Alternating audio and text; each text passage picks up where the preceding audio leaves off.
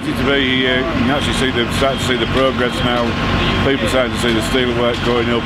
So the, the project now is now on time um, and ready. Let's look forward to the opening in mid 2016.